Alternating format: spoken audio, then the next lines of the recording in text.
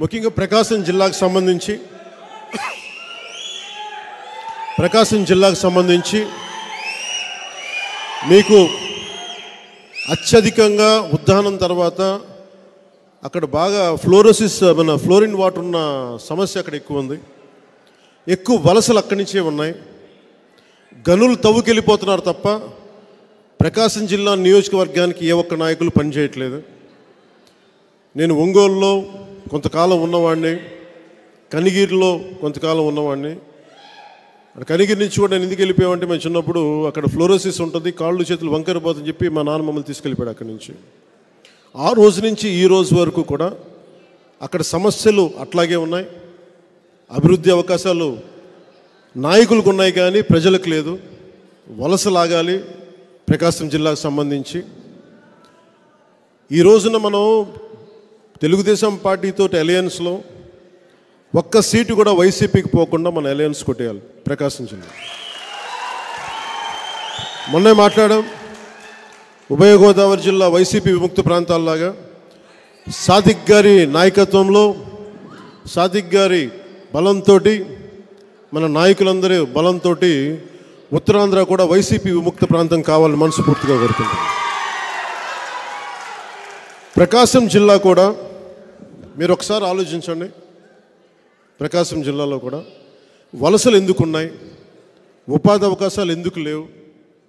నూట యాభై కోట్లు ఖర్చు పెట్టుకోగలిగే సత్తా ఉన్న శాసనసభ్యులు ఉన్నారు కానీ ఒక పదివేలు పాతిక ప- ఇరవై వేల కోసం వలసలు వెళ్ళిపోయే యువత ఉన్నారు నాయకులు బాగుపడుతున్నారు గనులు అమ్ముకొని బాగుపడుతున్నారు కాంట్రాక్టులు చేసుకొని బాగుపడుతున్నారు. యువత నలిగిపోతూ ఉన్నారు.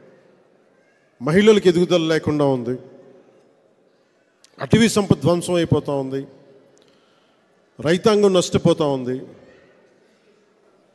మీరు మన ఎలయన్స్ని కనుక మీరు మనస్ఫూర్తిగా ప్రకాశం జిల్లాలో మీరు నమ్మితే నమ్ముతారని ఆశిస్తున్నాను నమ్మితే మనస్ఫూర్తి అండగా నిలబడితే ప్రకాశం జిల్లాని ఇంకా వలసల బారిన పడకుండా ఇంకెప్పటికీ కూడా ఈ ఫ్లోరోసిస్ బారిన పడకుండా సంపూర్ణ ఉద్దానం కోసం ఎలాగ కృషి చేస్తూ ఉన్నామో ప్రకాశం జిల్లా కోసం అలాగే కృషి చేస్తాం. ఏ నీటి సమస్య అయితే ఉందో ఏ నిరుద్యోగం అయితే ఉందో ఉపాధి అవకాశాల కోసం వలసలు వెళ్ళకుండా ఒక నేను కోరుకుంటుంది ఈ అలయన్స్ ఒక దశాబ్ద కాలం పాటు ఉండాలి. కనీసం దశాబ్ద కాలం పాటు ఉంటే రాష్ట్ర విభజన జరిగిన తర్వాత జరిగిన నష్టాన్ని ఆ తర్వాత వచ్చిన జగన్మో జగన్ గారి పాలనలో విధ్వంస ఆంధ్రప్రదేశ్ని రక్షించుకోవడం కనీసం ఒక దశాబ్దం పడుతుంది. అందుకే మనస్ఫూర్తిగా నా భవిష్యత్తు కోసం ఏం చేయట్లేదు. ఖచ్చితంగా మన ఆంధ్రప్రదేశ్ భవిష్యత్తు కోసం రాష్ట్ర ప్రజల భవిష్యత్తు కోసం మీ అందరి కోసం నిలబడతాను. ఇంట్లో తండ్రికి ఆపదొస్తేనో తల్లికి ఆపదొస్తేనో చెల్లికి ఆపదొస్తేనో మనం ఏం చేస్తాం? ప్రాణం అడ్డం పెట్టి పోరాడతాం అంతేనా? చంద్రబాబు అరెస్ట్ చేస్తే నారా లోకేష్ ఢిల్లీకి పోయినాడు. ఎందుకు ఎందుకు పోయినావు లోకేష్? నువ్వు ఢిల్లీకి అంటే లాయర్లతో మాట్లాడేదానికి పోయినాడంట. ఒకరోజు చంద్రబాబు నాయుడు కాడికి పోయి అడిగినాడట నా లోకేష్ డాడీ వీళ్ళు ఎవరు నీకు బెయిల్ తేలేకుండారు కానీ నీ తరపున నేనే వాదిస్తా డాడీ అన్నాడంట. ఒరే ఎంత పనికి మాలిన లాయర్ వాదించినా కూడా ఒక నెలకు బయటికి వస్తారా నేను? నువ్వు వాదించినా ఉంటే ఈ జన్మకు రారా నేను బయటికి? అన్నాడ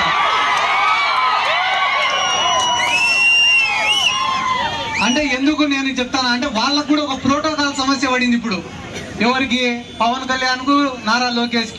నేను గొప్ప అంటే నేను గొప్ప నేను గొప్ప అంటే నేను గొప్ప అని. మే- మనం ఎవరినైనా తిట్టినామనుకో నువ్వు లోకేష్ ఎట తిట్టావు? నన్నుగా తిట్టాల్సిందని పవన్ కళ్యాణ్. పవన్ కళ్యాణ్ తిట్టినామనుకో వాడిని ఎట తిట్టావు? నన్ను తిట్టాలని నారా లోకేష్. ఇట ప్రోటోకాల్ కోసమే మా ఊర్లో కూడా ఇద్దరు కొట్టాడుకుంటూ అయినారు.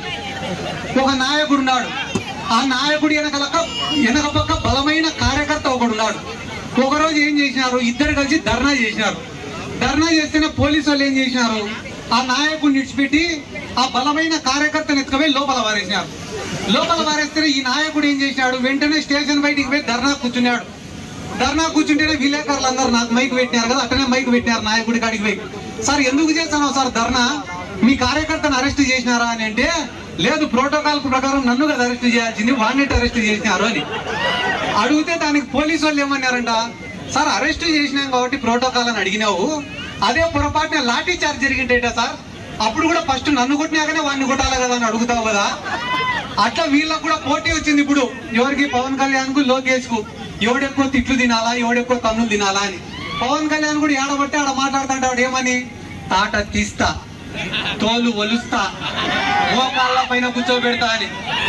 వీళ్ళ పరిస్థితి ఎట్టుండదురా అంటే మనం ఇంట్లో ఒక పెద్ద లాబ్రడార్ కుక్కనో లేకుంటే గ్రేట్ డెన్ పెంచుకుంటాం. అది చూసేది దానికి ఇంత ఇంత పెద్దగా ఉంటుంది కుక్క. కానీ దాన్ని కానీ బయటికి వదిలినామనుకో రోడ్డు కుక్క కలిసి చంపేస్తుంది దాన్ని.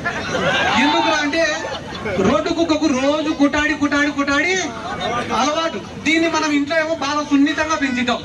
అంటే పవన్ కళ్యాణ్ కూడా తోలు తీస్తా తాట ఒలుస్తా ఐదో క్లాస్ పిల్లోడు కొట్టాడు పవన్ కళ్యాణ్. మన మన గవర్నమెంట్ స్కూళ్ళల్లో చదువుకుని ఐదో క్లాస్ పిల్లోడు కొట్టాడు ఎందుకంటే ఈ పిల్లల కష్టాలు తెలుసు నష్టాలు తెలుసు అవమానాలు తెలుసు బాధలు తెలుసు ఇబ్బందులు తెలుసు కాబట్టి. వీళ్ళకేం తెలుసు?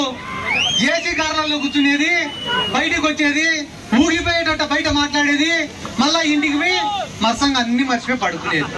వాస్తవమే కదా? జగన్మోహన్ రెడ్డి గారు ఏ రోజన్నా కూడా పవన్ కళ్యాణ్ కానీ ఇంకొకరిని కానీ తప్పుగా మాట్లాడినాడా దూషించినాడా?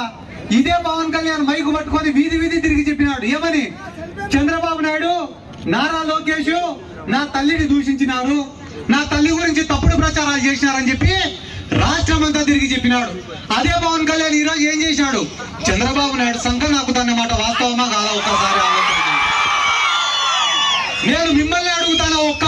చెప్పండి. మీ ఇంట్లో తల్లిని గాని చెల్లిని గాని భార్యను గాని ఎవడైనా కూడా తప్పుగా మాట్లాడితే ఏం చేశారు మీరు? ఆట తీస్తావా? ఇంకా కొంతమంది వెనక పక్క వెరైటీ చెప్తారు మాట్లాడకూడదు.